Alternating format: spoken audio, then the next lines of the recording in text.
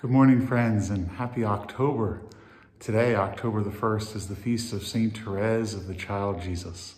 This is an image of her over my shoulder. You've probably seen it in many churches, many schools. She's a very, very popular saint. Therese died when she was only 24 from tuberculosis uh, in the late 1800s. Um, she had lived most of her life uh, in that region. Her sisters had entered the Carmelite convent before her, and, and then she followed them there. Uh, Therese is known for her little way, small things with great love. But that was not how she originally lived. As a child, having lost her mom to cancer when she was young, she was very spoiled. She was also very anxious. Uh, some would say almost uh, compulsively so. But she was freed from that by the grace of God. At the age of 14, she had a rather mystical experience uh, where she said she gave herself over to the passion of Christ. She united herself more closely with our crucified Lord. And in that moment, again, 14 years old, she said to God that she would strive for the rest of her life to never be selfish. A 14 year old, a 14 year old girl from a rather well off family a 14 year old who was also the youngest child in the family.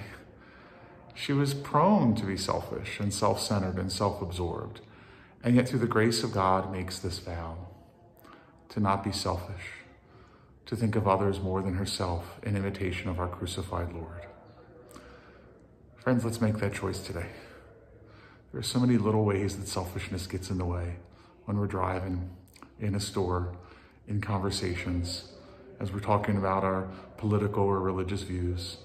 We focus on ourself and advancing ourself and trying to get our way. At least that's what I do. And I think many of you struggle with it as well. Look upon the cross of Christ. Know that it's here that we, we find joy. Therese is so often pictured with, uh, in, in, pictures and in artwork, you know, holding uh, flowers, you know, Therese the little flower. She saw herself as a little flower in the garden of God but also the crucifix, because it was through her meditations on Christ crucified that she really grew in holiness. And the same will happen for us. Hold a crucifix in your hands today. Look at what he did for you so selflessly and pray for the grace to overcome any selfishness in you. May God bless you and keep you and shine his light upon you, the Father, the Son, and the Holy Spirit. Amen. And for those of you in the Philadelphia area, we do begin COVID testing at St. Raymond's today through Thomas Jefferson, 11 a.m. to 7 p.m. on Thursdays, 11 a.m. to 4 p.m. on Saturdays. No appointment needed. Come by. Let's wipe this virus out.